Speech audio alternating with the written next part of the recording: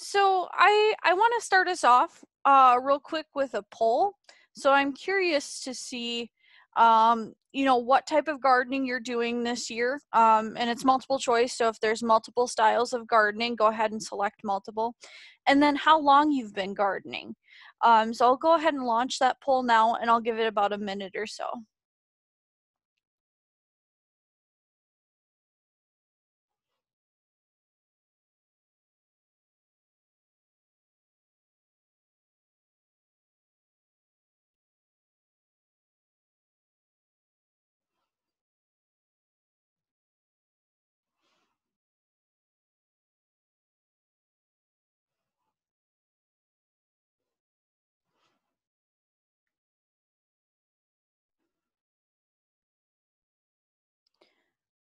About two more people, one more person. And if you can't figure out the polling feature, not a problem. Give it one more second. All right, and so all these polls are anonymous, by the way, so I don't know who's saying what. Um, so as we go along, if I have more poll questions, don't worry about it. You know, as like I said, we're recording this, um, but I want to share the results, so it's kind of neat. Um, so we have, you know, at least eight folks doing container and in ground, a few doing raised beds, um, and even one person doing straw bale gardening, which I think that's pretty neat. Uh, so you actually might probably know more about straw bale than what I do, uh, which is exciting because like it's it's a venture that eventually I want to get into. Um, I definitely have publications on it, so and we'll talk a little bit about that here in a few minutes. Um, and then quite a few, you know, a few new gardeners, and then quite a few that have been doing it um, for quite a while. So welcome. I appreciate you coming. Uh, so I'm going to just breeze past the next slide because that's my introduction and since I already introduced myself. Um, but for the folks that are going to be watching this later, I'm Kaitlyn Davis. I'm the agriculture educator for La Crosse County. So, our agenda for the hour. Now, I know this seems like a lot of stuff, and it probably is going to be a lot of stuff. So, if for some reason I'm going too fast, feel free to, you know, ask questions in the chat box or ask me to repeat things as we go along. Uh, but we'll discuss, you know, different types of gardening that are out there, talk a little bit about soil. I'll briefly mention fertilizer in the regards to soil. Um, we'll talk a bit about diseases and identifying them uh, looking at some pests. And when I mean pests here, I'm specifically talking about insects in that section. And then we'll look at weeds, and at the very end, we'll be able to answer some of your questions. Um, and if I don't get to your question tonight, um, because sometimes it takes me to, a little bit to do some research, um, I'll make sure to get your name um, and contact information and I can get back to you on your question. So, this is probably my favorite quote. Uh, so, there are no gardening mistakes, only experiments. So, if something goes wrong, it's not something that went wrong. It just wasn't quite what you hypothesized was going to happen. And that's that's the beauty of of gardening is the fact that we can, you know, have this opportunity to uh, to make mistakes, and it's okay. Well, and as I said, experiments, not mistakes. Uh, so why don't we go ahead and start looking at different types of gardens? Um, as I mentioned, straw bale gardening. Uh, so this one is very unique because you take straw bales and hay bales um, and you can grow it and it's got that benefit of it's raised so it's at least you know about like two feet off the ground so if you do have a harder time with gardening and getting lower if you're doing an in-ground bed this can be another unique option um, keeping track of nutrients can be a little bit more difficult. Um, and you don't want to start with a fresh hay or straw bale um, simply because um, it, it hasn't broken down enough to have that proper organic matter that's going to help to feed these plants as they're growing. Uh, and it's just, it's a really fun, unique way that um, you know, people have adapted to not being able to have the space that they have, or say you don't really have great soil to grow your plants in, straw bale gardening is one of those options. square foot gardening. So I really enjoy this style of gardening. And actually, when I do my garden beds this weekend, this is how I'm planning on planting. And so it's very much a sy- systematic approach to gardening. Um, so each square, you can have X number of plants in them. Um, obviously, the smaller the plant, more likely the more you can have in that square. Um, the larger the plant and more space you need. Uh, there's you know there's a couple different documents out there um, and at the end i'll show you you know some websites that you can go to where you can find some of these documents that'll help you through these different gardening types uh, if you don't have a lot of space but maybe you have like a small square square foot gardening is great because you can get the most out of that space of what you're looking to grow. Then you have container gardening. So this is you know taking gardening even to a smaller level. So say you only have a balcony or um, maybe you know you don't even have that or even a yard say you live in an apartment building you know container gardening is something that could be feasible for you as well. Um, when it comes to container gardening if you're doing things like tomatoes um, you can see in here and i'm going to bring up my little pointer here. If I remember where my pointer is at.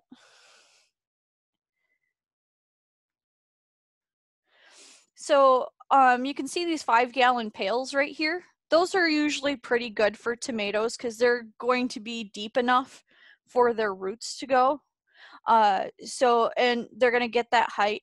Um, like most tomatoes and peppers and stuff, I know these ones right now don't have um, like a cage on them, but that might be something you want to consider doing, um, even in a container to help keep it upright. Because as it starts forming that fruit, uh, you might have you know more tip over or you know getting it too close to that soil surface and if it happens to be outside well then you have that chance of exposing it to you know bacteria fungus things like that that that live on that soil surface. So we'll go ahead and stop that spotlight then we have raised bed gardening. Uh, so this is something that I'm going to be doing is I'm going to be doing a slightly raised bed. Uh, it's just a little bit easier to work with, um, especially, you know, um, if you're newer to gardening, uh, it has a lot of areas that you can control. So you can control what soil you bring in. Um, so you know all those different factors that are going into your raised bed box. Uh, plus, if you know you do have a little bit of a harder time uh, getting around, or you know, like I said, getting down on the ground and weeding, you know, these boxes can be very beneficial. Um, and also, you know, you can build you know relatively any size box that fits your needs dependent on you know how much yard or where you're gardening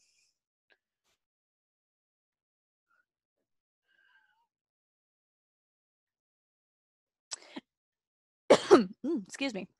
And then you have in-ground gardening. Uh, so you know this one is you know nicely laid out. They have uh you know their trellis and stuff.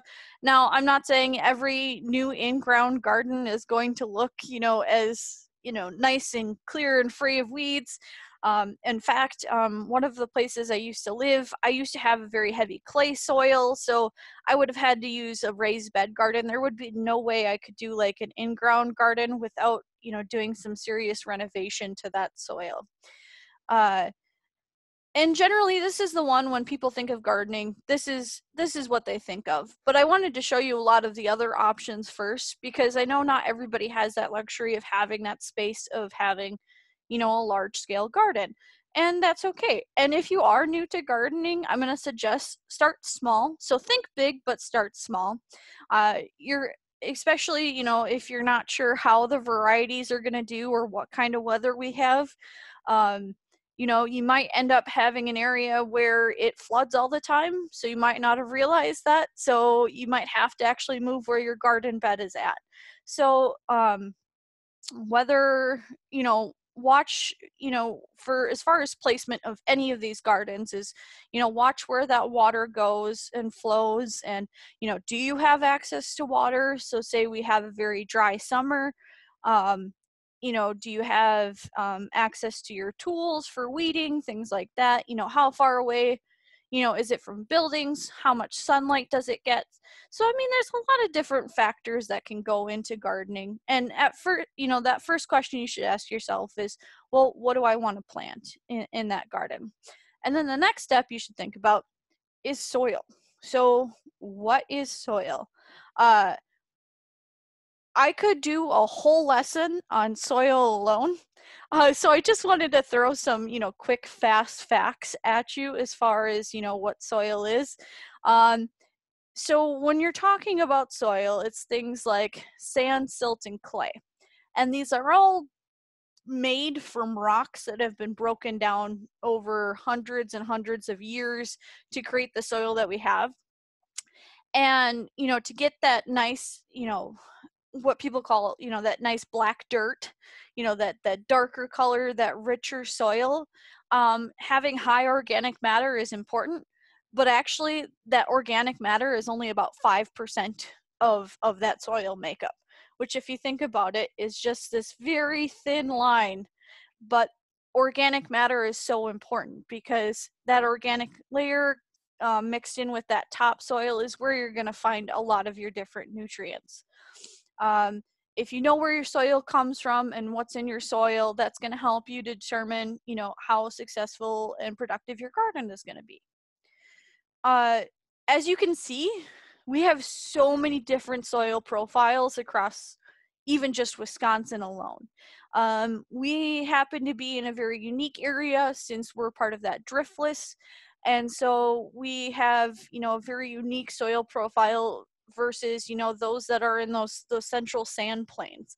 And so um, let's see La Crosse is right here. So you can see we're made up of you know a lot of different like you know silty soils um, prairie silty soils um, forested soils over sandstone. Um, and we have you know very old soil too because it wasn't covered up with those glaciers when they came through. So some quick things um, of what you find in your soil.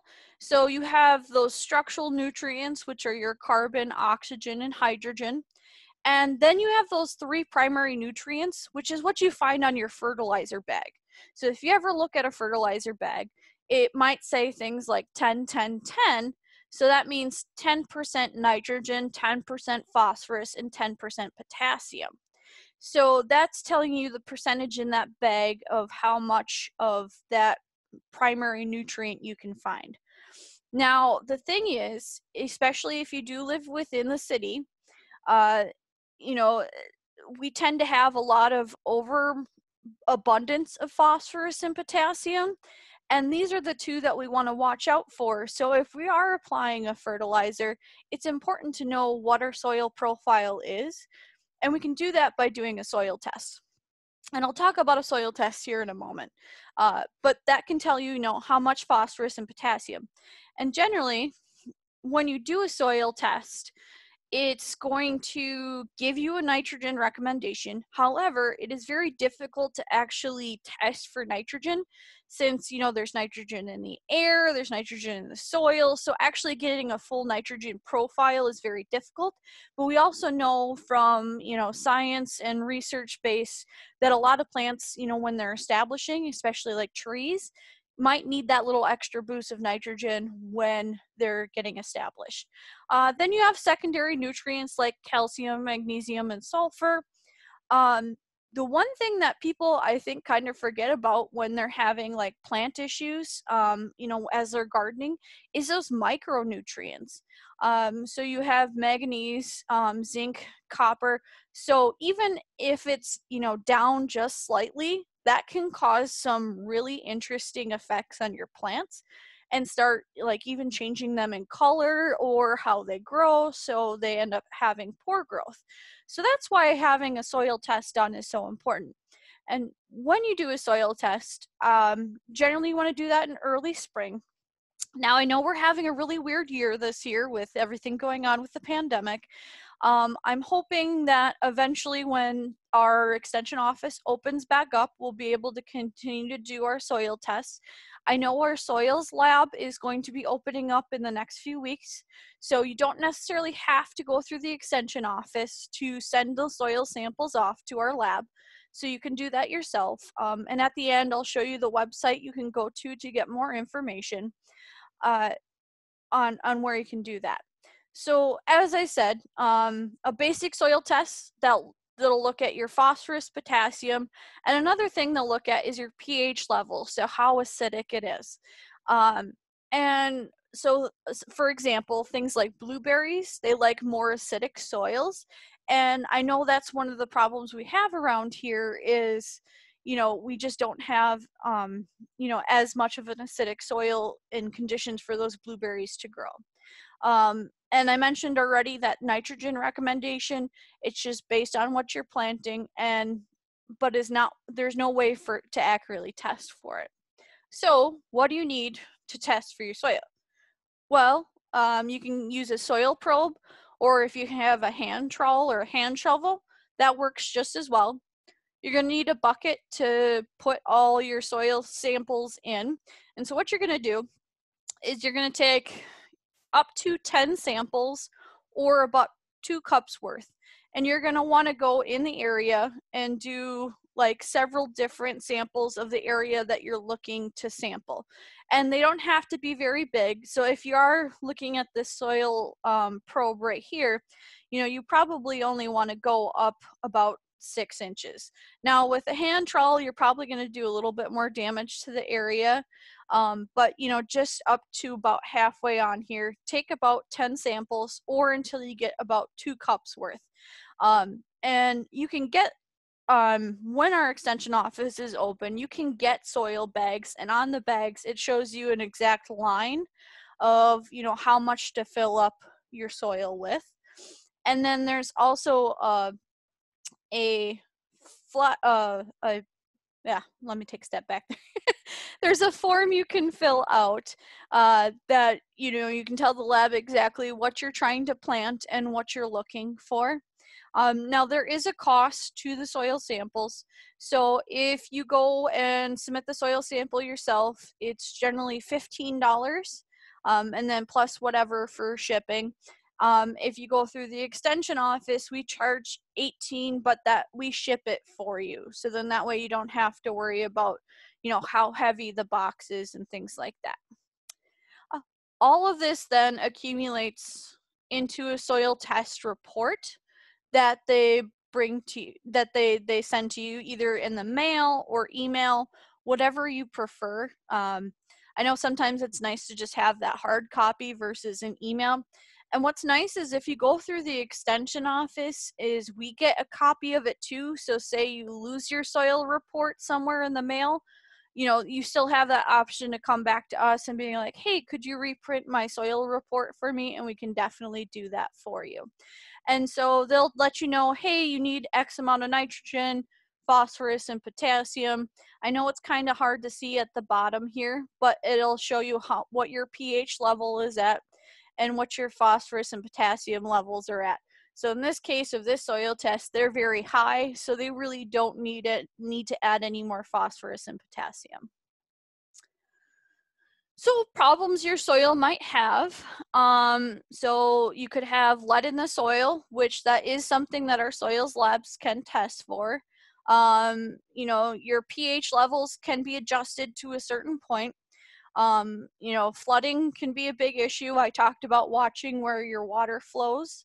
Um, you could have too much sand, too much clay, um, not enough organic matter. That's where things like compost can come in. Um, moisture retention, so how well it, it maintains water, and also compaction issues. So I'll go ahead and I think there might have been a comment, Kathy. Yes, uh, they're asking, would you do a different parts of the yard for a soil sample? Yeah, so if you're if you're testing so if you're testing for your garden, I do 10 different samples where you're planning on putting your garden. If you're doing a lawn sample, I do 10 different samples around your yard. Um, if you wanted to see what your garden had versus what your yard have, I would have two different bags. So one that said yard and one that said garden. So that way, you know, you know exactly where that soil sampling is coming from. But yeah, you want to go kind of all around in that area. So good question. All right, let's go ahead and move on.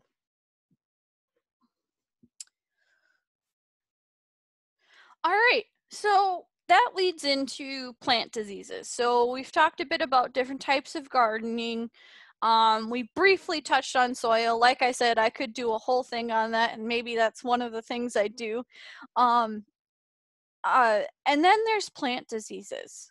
So, what is a plant disease? So, basically, a plant can become sick due to infection by a variety of different types of organisms. So, that could be things like insects, um, uh, fungus, you know, you have stuff like bacteria, virus, and nematodes. These are generally those five things that are going to be vectors that are going to cause, you know, some sort of disease and cause your plant to become sick. So, what can cause this perfect storm of a disease? Well, we have this thing what we call is the disease triangle. So, you have environment, pathogen, and host plant. And if you don't have one of those three, then you don't have a disease. Now, it's very unlikely that, you know, we'll never have all three at once and have a perfect garden. So there's always that potential for disease because, you know, sometimes when it comes to a pathogen, there might be things out of your control. So, an example of a disease um, is like cedar apple rust, and I do have that on my next slide.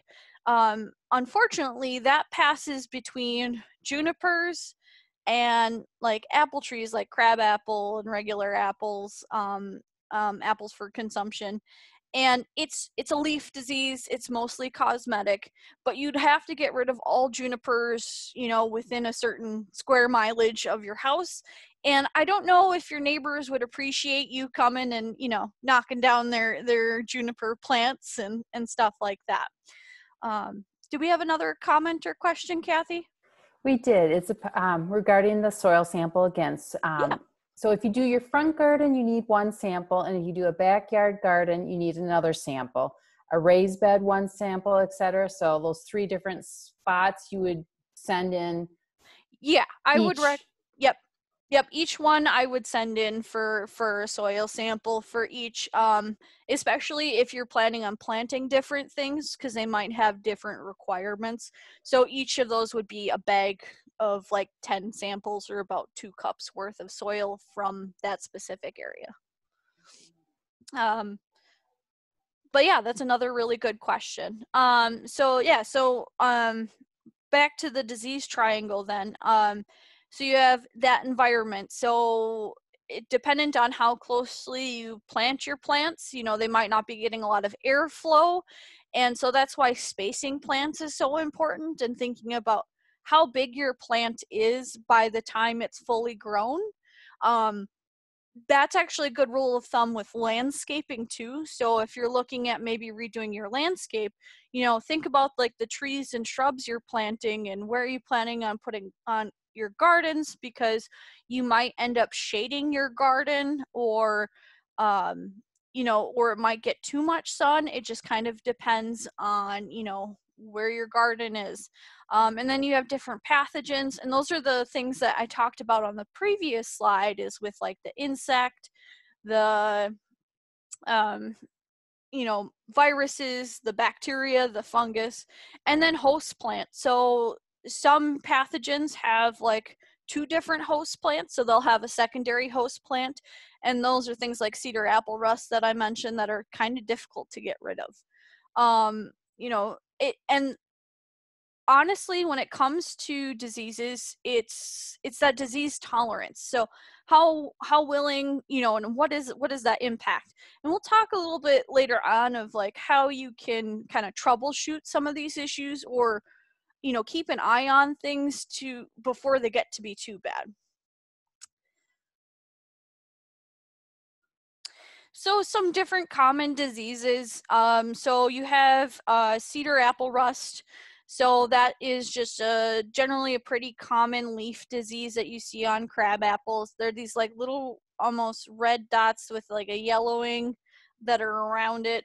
Um, spotty and I mean it it makes your leaves not look very pretty, but generally it's only going to affect the leaves. Now, there's another disease that affects apples which is called apple scab and that can actually affect, you know, the apples on your trees. And that also does have some spotting on the leaves, but it looks very different than this. Um, I like this picture because it shows you the difference between downy mildew and powdery mildew um, which are both different types of fungus, but they act very, very differently. Um, so you have powdery mildew, which is exactly like its name. It looks like, you know, a powder. Uh, lilacs are pretty susceptible to powdery mildew.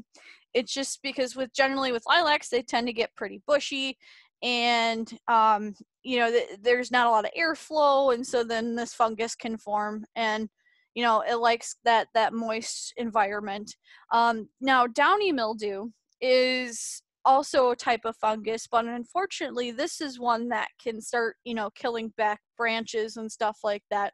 So that's one that you want to be a little bit more wary of.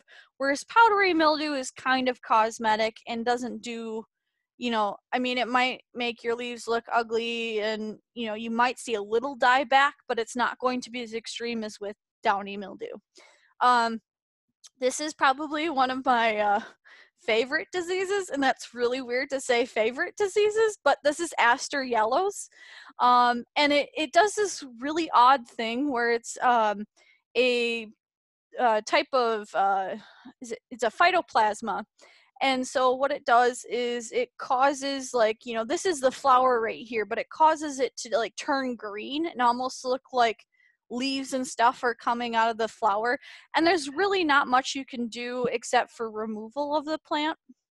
Um and this one back down here is uh black knot um disease and it's a type of fungus that can take over um the you know the the branches. Um this one affects primarily like your stone fruit so like cherries and plums and things like that and so it'll look like this like dark almost sooty mass and by the time you see this that's the second year growth of that fungus and so what it looks like usually beforehand is this kind of green fuzz that almost blends in with the bark of the tree so it can be very hard to spot the first year and it's only within that second year. And I've had a few folks bring me in some branches and they're like, oh, what is this? And I'm like, well, it's pretty distinctive as far as what that disease does. Um, and what you want to do with that is you want to prune out those branches. And in between pruning out those branches, you want to use um, a uh, disinfectant with your tools between each branch cut because there's that potential of spreading that fungus from one limb to another. And best time to really prune things is you know early spring or late fall.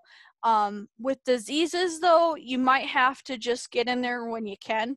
Um, just make sure it's not on like a hot warm day because that can also you know influence like you know further diseases coming in and then this one right here is anthracnose. Um, so anthracnose can, you know, it's a it's a pretty common leaf disease.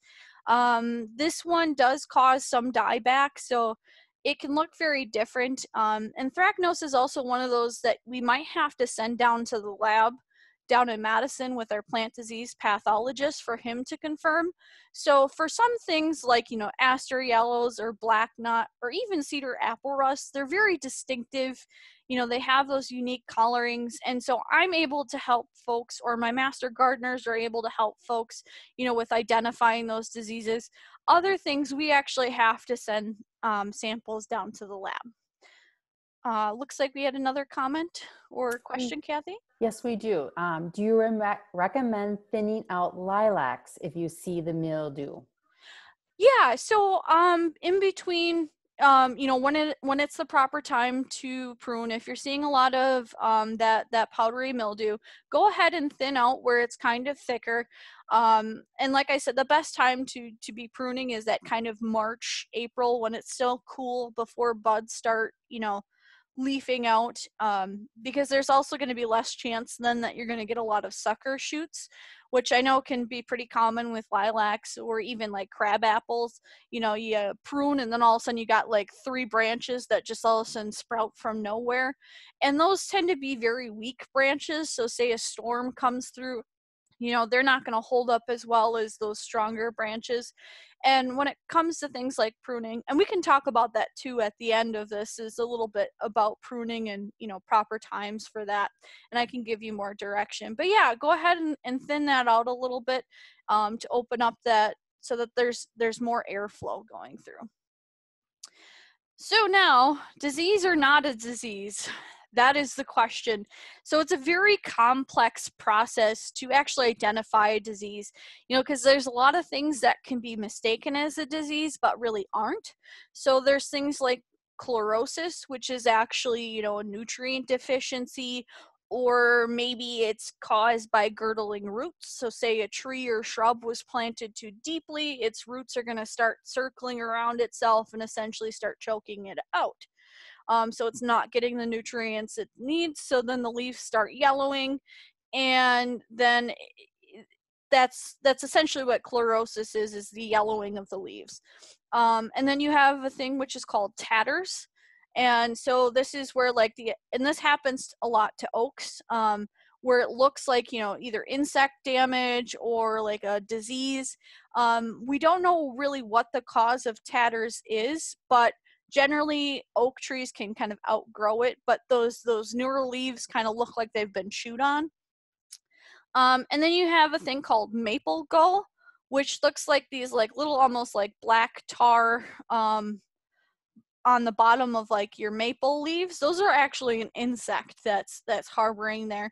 And it's just again a cosmetic. It just causes you know these like dark spots underneath your maple leaves. And then herbicide damage. Um, i actually had something come like this come into the office. Um, somebody had several varieties of tomatoes and all varieties were exhibiting the exact same symptom as like you know those those um you know some of the newer leaves were like distorted and you know kind of discolored and like the older ones were just kind of dying off and talking and working with our disease pathologist, Brian Hudelson, um, in Madison, um, he's just like, well, if it's all consistent across all varieties like that, I'm more apt to think it's herbicide damage, which dependent on, you know, what stage of growth that plant is, you know, a lot of plants can bounce back from herbicide damage, but it just all depends on what stage it's at and then, you know, how much herbicide it was exposed to. So then, now we go on to our pests. So like I said, it's a lot of information and we only have an hour, so feel free to ask questions as as we continue along. Um, before I move on to pests, um, you know, I, I want to kind of define that term pests because, you know, you say pests, well, that could be an insect. You know, some people find weeds pests. You know, generally when we think pests, though, it's more like insects or rodents. Um, like deer and rabbits can be considered pests. Um, and I know, you know, since we live pretty close to a lot of forested areas and I've seen several bunny rabbits in my yard, I definitely know I'm going to have to probably put a, uh, a rabbit fence around my um, garden beds because, you know, rabbits, they really enjoy what we grow. Um, and this is what I wanted to talk a little bit about. Um, so IPM it stands for Integrated Pest Management. And it's basically the building blocks of how you can troubleshoot, you know, problems before they really become a problem. So the first step of that is is recognizing what the problem is. So acknowledging, you know, what what is the pest life cycle? You know, for insects, does it only have one generation, you know, per season? Or does it have multiple generations per season? You know behavior is it one of those things that like it's a general grazer so it might come through eat some of your leaves but it'll leave most of the plant alone? Or will it come through and totally decimate the plant? Uh, japanese beetle for example i know can be very um, obnoxious and can come through and you know do a lot of damage not just to our fruits and vegetables we grow but to our trees and shrubs. Um, and then like uh interactions you know is there you know what kind of what is your tolerance with that pest? You know is it something that you know like okay is this something that you know i can live with? And that kind of gets into that decision making tool. Okay so i maybe only grow these fruits and vegetables for me and my family so if we lose some it's not going to be a big deal um, but maybe some of you grow your fruits and vegetables or flowers and sell them at the farmers market. You know any loss can be a very you know economic injury to you. Um, you know are you going through and are you monitoring your garden? So you know some people i know their style of gardening is they plant they set they forget and they come back at the end of the season and they're like all right what do i have? And for others you know people are in there every day you know they're making sure they're weeding and you know keeping that spacing. And and that's the thing about gardening is it's it's very forgiving. So if you don't get it quite in that first year it's okay try again you know try different methods you know figure out what works for you. And then once you've realized okay I need to do something about this pest. Then there's a couple of tools in your tool belt that you can use. So you have biological controls. So say you have something like aphids, you could bring in ladybugs. So ladybugs are really good about eating aphids. Now, you know, it takes a lot of aphids to really do a lot of damage to a lot of plants. So maybe that's something that you don't really need to bring in, but maybe your plants are affected by aphids every year. Um, you know cultural controls. So those are things that i was talking about with you know making sure you're spacing things out properly or you're monitoring or you're looking things um, mechanical controls. So um, say you're not big on using chemicals so sometimes it might require like actual hand removal. So i know of people they're like oh you know i just send the grandkids with a bucket of dish soap water to go through and you just drop those Japanese beetles right in and then we're good to go. Um, and then, you know, there are some folks that rely on chemicals. And if you are using chemicals, it's not necessarily a bad thing. As long as you're applying chemicals um, according to the label and applying it in a way that it's beneficial to you and your garden and the folks around you, you know, as long as you're following that label to a T, you should be okay to use chemicals um, and you know there's there's organic chemicals out there. I know that's a scary word for some the the word chemical um, you know it makes people think of like you know hydrochloric acid and things like that you know that are like you know super dangerous um, but there there is a time and a place when chemicals can be used. So common pests. So um, there's our wonderful, beautiful Japanese beetle. Um, sometimes people get mistaken with um, the Japanese beetle with the multicolored lady Asian beetle, which are the ones that look like ladybugs but aren't and stink up your vacuums in your homes and invade them in the fall or summer or whenever they can get in. And those things are annoying. Um, and then you have things like the rose chafer. Um, which you know i've probably seen more cases of rose chafer. Japanese beetle for the La Crosse area seems to be relatively new in the last 10 years. You know it's it's starting to to come through more. Um, and then you have things like aphids or in this case um, you have white grubs. Now white grubs could be the you know the young of the japanese beetle or in this case this is a May June beetle larva. Um, and then you have the four-lined plant bug, which these ones can be very difficult to see, but their damage, you know, is very distinct as well. Um, and it looked like we had another comment or question. We do. Um, oh. What about planting combinations for pest control? Yeah, I think that's a very good um, way of opportunity of using that cultural control is, you know, using plants that maybe detract from um, you know, certain insects, so they're not going to draw them in. Um, if you're using things such as traps, um, I'm going to warn you now if you're going to have a trap for your Japanese beetles, make sure you're doing it away from your neighbor's garden. Otherwise, your neighbor's not going to be very happy with you.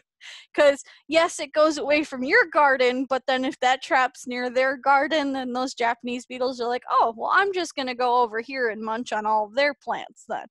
And so, traps can be beneficial, but they're only as beneficial as often as you use it. Same with the companion planting. You know, if you're planting certain things because they detract from certain insects or pests, um, you know, and even planting certain things together can even help with weed control too, because you know you're limiting, you know, the amount of space that those weeds can come. Um, do we have another? We do. Which is the one that lives on soil beans? Soil beans.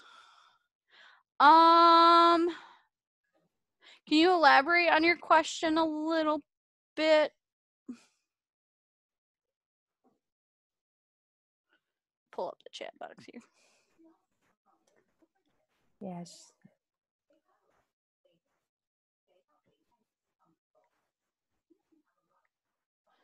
Oh, soybeans. Oh, um, so yeah, so which is the one that lives on soybeans? So yeah, so there's um nematodes, certain nematodes that cause cysts on soybeans. Um, I'm trying to remember the specific name.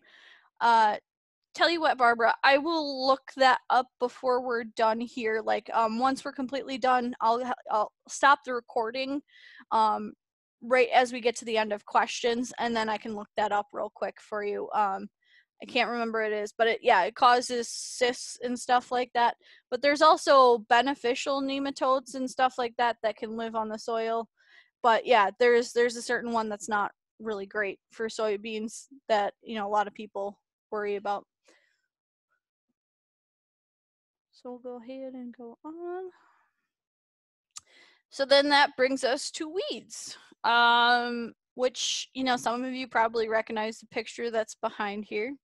So um, I have it up here again. Um, this is Creeping Charlie.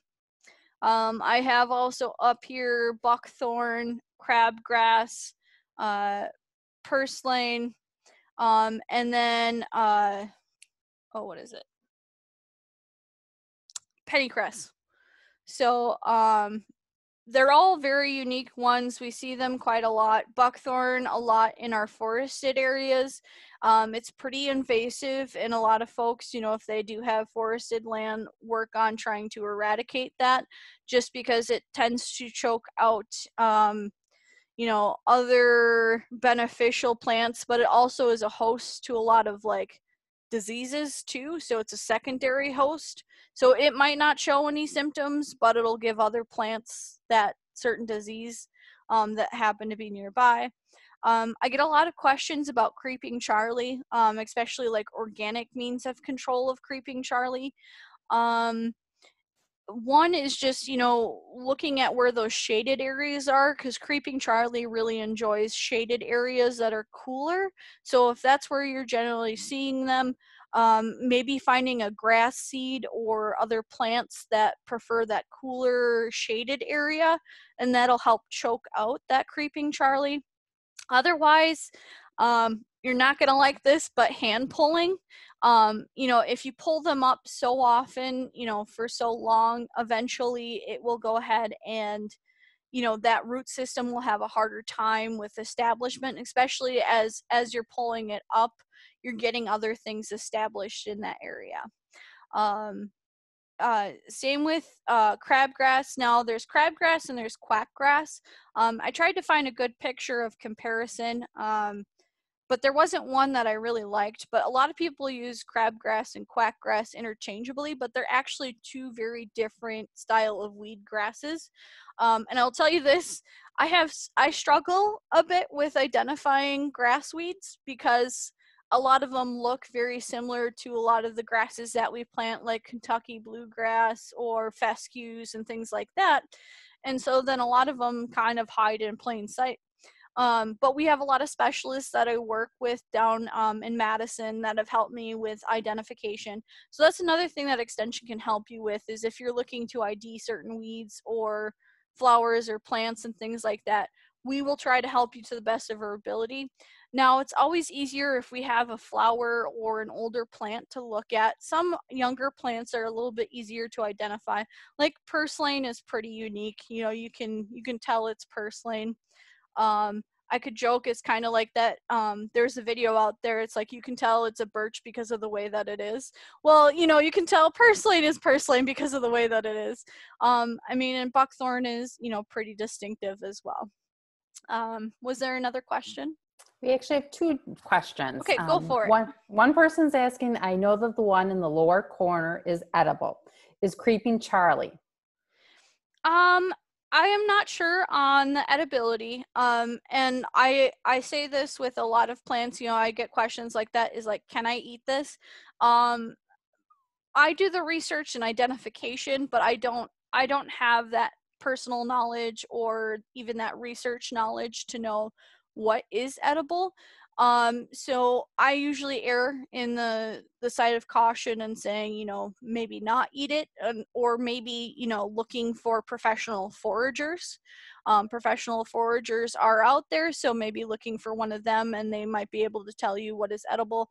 Um, same when it comes to like insects and stuff. Like sometimes I'll have folks come in with insects that you know are like ticks and you know or uh, bird mites you know i'm i'm not professionally diagnosed i'm not a medical doctor so i'm not able to like say from a bite you know oh it's this but if you give me a sample of something um, like you know if you actually have the tick you know we can send it in for identification um, or if you have examples of the bird mites which you know are very very hard to see they're almost microscopic you know we can send those down to our entomologist and he can help to id them so i can't tell you 100% for sure to go ahead and eat creeping charlie so um, long story short is i guess err on the side of caution and and don't eat it All right. The other question is Does the Japanese beetle leave the leaf looking like lace? Netting to deter the beetle from establishing. Once I noticed them last year on pole beans, there were too many to pick off. I tried spraying soapy water on the leaves, organic chemical solution you know of. Um, I mean, neem oil is one that comes to mind. So it's an organic um, oil that you can spray. Now, with Japanese beetles, it's hard because in order to really control them, you also have to control their larvae, which are the white grubs in your lawn. And you can start noticing if you have a higher population of white grubs, if you have moles that move in too, because generally that's what they're going after. Or if you have things like raccoons that are digging up like your flower beds and things like that, generally they're going after those white grubs. Um, and are certain things that you can apply to your lawn. Um, we do have public publications out there that talk about control and monitoring for Japanese beetles. Um, so um, at the very end, um, once I turn off the recording, um, I'll just get your um, name and then I'll go ahead and I'll send you that publication because I should have everybody's emails if you registered for this, and so then I can email you that publication. All right. So I'm gonna launch two polls. So the before we get into questions, um, just to one is just kind of asking, you know, oh, you know, did you did you learn something new? Um, and then, you know, are you going to utilize anything that you know you learned? And then the second one um, is a demographic survey. Um, and that's just for reporting purposes you know because since i'm part of uw madison they want to make sure we're you know reaching um, all um, everybody and we're having equal opportunity. Um, and that is anonymous and there is a prefer not to answer. So if you're not qu- uh, comfortable with taking a demographic survey you can go ahead and click that. So i'll launch um, the second poll and then after that one is done um, i'll launch the the demographics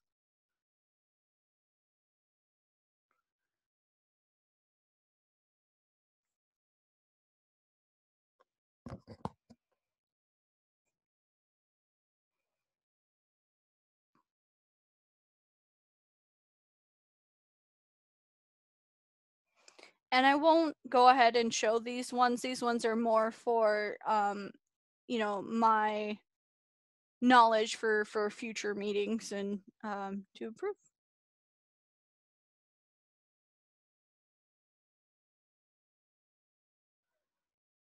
All right, I'm gonna end that poll. And then I'm gonna launch um, the third poll then.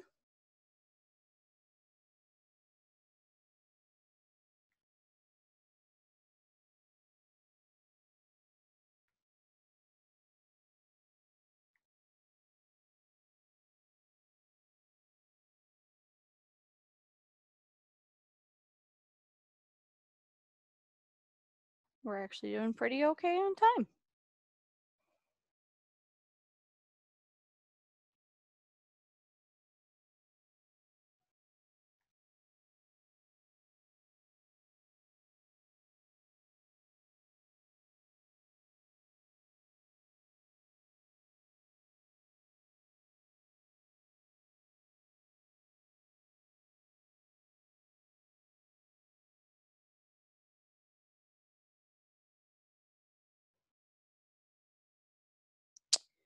All right, I'm gonna go ahead and end that poll. All right, so is there any last minute questions? Um, otherwise, I'm gonna I'm gonna stop the recording and then we can take more questions, and then you know that way you know if, if there was something you wanted to know and you wanted to get on the mic and ask, feel free. So I'm gonna go ahead and stop the recording.